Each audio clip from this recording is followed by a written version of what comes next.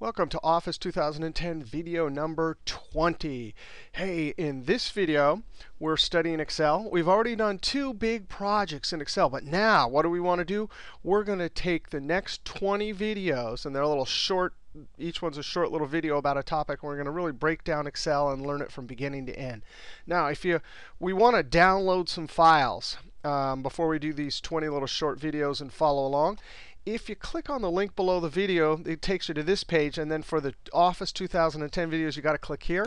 If you're enrolled in the class, you always go to this website or through our Angel website and then click on Excel. And boom, here it is. Excel is fun. Now, here's the deal. You can have my uh, free Excel book. I've been using it in this Business 216 class for years and years. You got to download it and print it out. It's about 140 pages. Now, the videos, um, if you follow along in the videos and actually take notes, you don't have to read this book. But it's there because some people like to read. Now, this book is going to cover the same topics as the videos. However, the videos will have a little bit more content. But that's for people that want to read. So you got to click it and download it. Also, the next 20 videos, approximately, I'm not sure how many exactly the final count will be. There's a start file, and all of the examples are going to be here. Now, I'm shooting the first video right now, and that is the finished version. Well, of course, I haven't posted that yet, but I just have the link up. If you click on it uh, um, when you're seeing this video, that means I've already posted it. All right, so I'm going to download this. And as always, we are never going to click this button right here. Open, all sorts of trouble. We're always going to click Save and save it to our computer. Now, where is the location? For this class, we're saving it to our jump drive, Highline. This is uh, winter. Whichever quarter you're in, you click that Business 216 class notes, and finally Excel. Notice there's our two projects we have already done. I'm going to, um, where do you want to save it? Boop. What do you want to call it? That's fine. And then uh, save as type. Now, I do want to change the name. If there, there's, um, well, there's a book and there's videos. And for the book, if you're doing it at home, you want, want to, might want to repeat some of the problems. So I'm actually going to download this two times.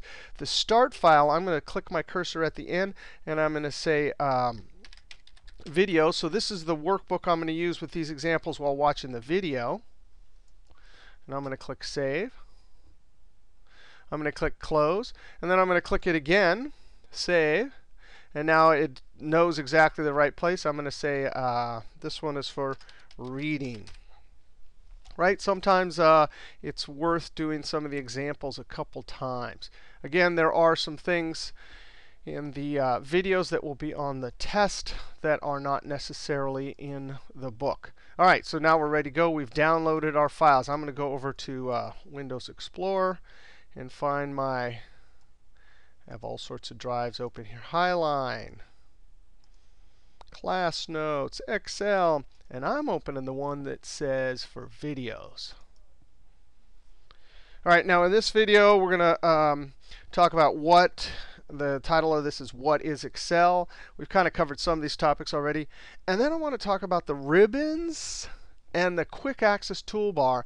And I want to show you how to customize uh, those. Now, the first thing is, the first sheet is what is Excel, and this is uh, a rather large workbook. Our first two projects, we had just a few sheets, but notice how many sheets there are. Now, before we navigate through the sheets, I just want a little review here.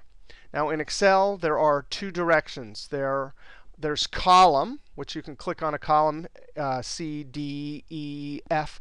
Notice that the letters go from left to right. And then we have rows. Rows go up and down. All right? So there's a column. That's the D column. There's row 10. And the intersection of those two is called a cell. We can see the name of the cell up here. That's D10. So columns, rows, cells. Now, all the cells are called a worksheet, or just a sheet for sh um, short. Um, and in our two, first two videos, we, we learned that this, this sheet name is the name of the sheet. Right? So this is called What is Excel. We learned how to name sheets. It's easy as double-clicking and typing and hitting Enter. I'm going to click Escape. Now notice we could take our cursor and click through the sheets. And now, what are all the sheets called? And we'll, in just a moment, I'll show you how to navigate through all the sheets. But what are all the sheets called? Because we have column, row, cell, sheet. And all the sheets are called a workbook.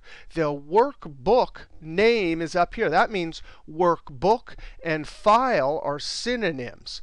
So the name of this file or the name of this workbook is Excel 2010 is fun start for videos. Notice the extension .xlsm.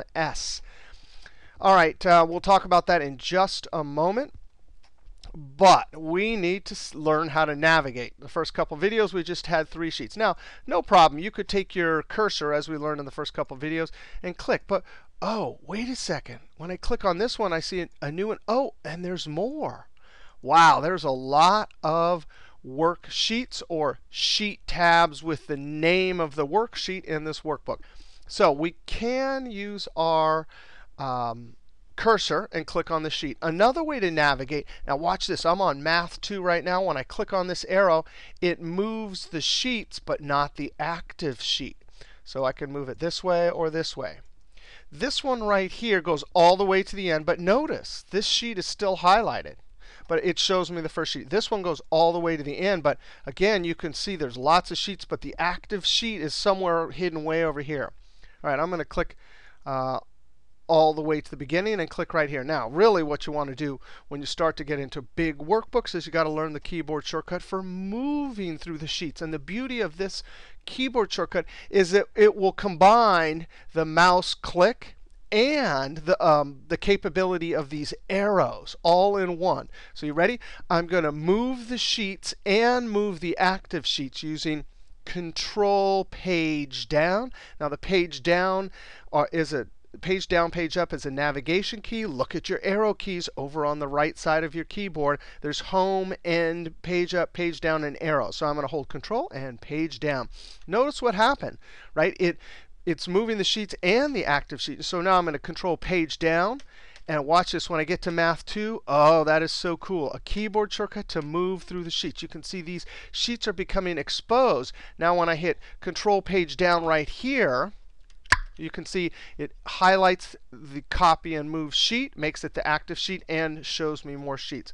So control page down. I'm control paging down all the way to the end. You can actually just hold control and hold page down, and it will go. I'm going to do that right here. I'm on the very last sheet. I'm going to all the way to the beginning, holding control page up. So ready? And just like that, I can go. So that's the way we want to navigate. I'm now doing control page down. Now, file extensions. Uh, we talked about this a little bit when we talked about Word. I'm going to hit the F12 key. By this time in this class, you know what F12 means. It's Save As. And what's beautiful about Save As is we can save the location, change the file name, and change the extension. Now, when you do that, Save As, it actually creates a second file. Now, there's .xlsm and I'm going to click the drop down for Save As Type or File Extensions. The file extensions by default in 2010 is .xlsx. That X and that M are extra letters above and beyond what we had in 2003 and earlier. It used to be we just used .xls. The X means there's no ability to create VBA code, which is beyond the scope of this class, but it means that you can't go behind the scenes and write code to do all sorts of things. Ah, the M, M is for macro, and it means we can write code. Again, it's beyond the scope of this class. If you want to learn a little bit about it, you could take my uh, Business 214 class, Advanced Excel. It's actually called something like spreadsheet construction in the uh, catalog. All right, so X and M, they are a new file format starting in 2007, and they are more efficient than this earlier .xls. They save as a file, of a smaller file size, and they can communicate with um, more programs than this earlier version. So it's actually a better file extension. The only problem is that some people that don't have 2007 or 2010 either can't read your file or have to get a converter. All right. Um, and there's a bunch of other file extensions also. Um, in Word, we learned how to use a bunch of them, um, templates, which are right here. Here's the one for um, 2010 with macros. Here's the one for 2010. So templates, same idea as we learned back in Word, same with web page. All right, I'm going to click Escape. All right. Now, what is Excel? Excel does two things, right? There's two broad categories. And the first category is, oh, yeah, Excel can do calculations. That's why out in the working world, you, you don't use handheld calculators anymore, or at least you use them extremely rarely. You uh, create formulas in Excel. And in the first two videos, we saw how a little bit about how to do that. So if I click in this cell and hit the F2 key, F2 puts the cell in edit mode. Actually, let me hold Control and roll. And I hit the F2 key, you could see, oh, there's a formula. It's adding up the two cells to my left. I'm going to click Escape. I'm going to click there and hit F2.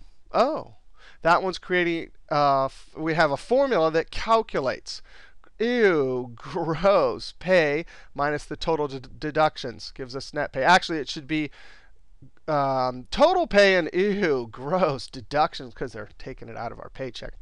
All right, so Excel is great at doing calculations. That's number one. And the, the possible calculations are virtually infinite. The second thing that Excel does is data analysis. And data analysis just means we take raw data and we organize it in some way so that it's useful for making a decision. A very basic example of data analysis can be seen right here.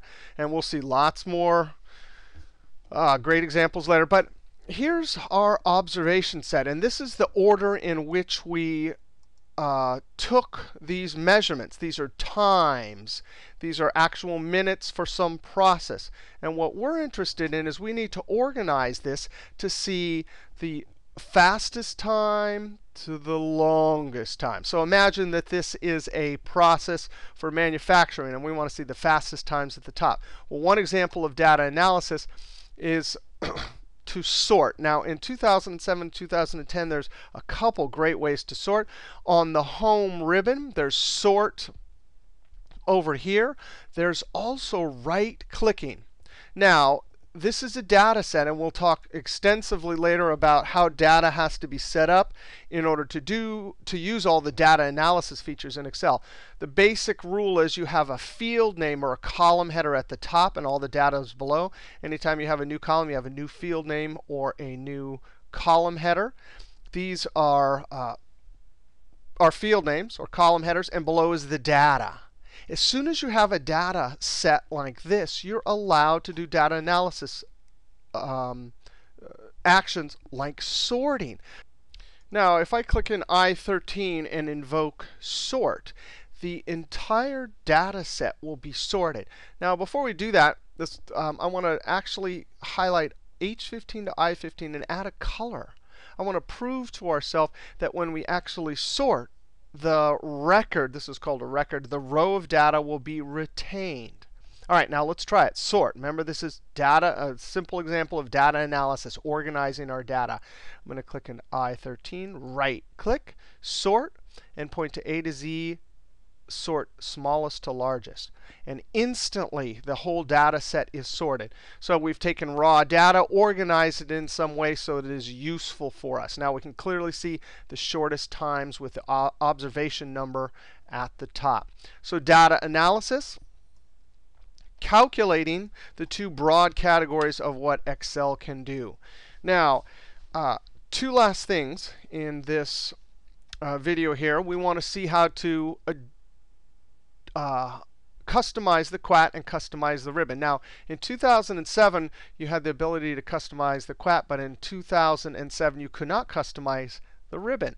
All right, let's first start with the QAT, the quick access toolbar. And we actually saw this back in Word, but it is a very useful thing to know how to do. So I'm going to do it here in Excel. Right click the quick access toolbar and point to customize. Immediately opens up um, Excel options up here. And quick access toolbar is automatically selected. Very important, you want to come over to choose commands from and select all. And then there it is. This list of over a thousand items is everything that is built in to Excel, all of the features. Now the nice thing about this list is if you had something that you did in earlier versions and you can't find it in the ribbons, you can look through this alphabetically sorted list. Here's an example. Let's click on 5 point star. Right there, if I point my cursor to it, it says command not in ribbon right? So you knew that you used to use the five-point star. It's not anywhere in the ribbons. You come here and boom. Now, what if you want to use it? You simply select it and click Add. All right, so that's how to modify uh, the or customize the quick access toolbar, and then you click OK. Now the ribbon. The ribbon uh, can be customized also. We're going to right click. Oh, by the way, there's our star, right? And as we talked about in Word, the beauty of the QAT, and let's say right click, show access toolbar below. The beauty of the quick access toolbar, of course, is whenever you go to a ribbon, these are always visible. So the, the idea is you, you load this up with the things you do all the time.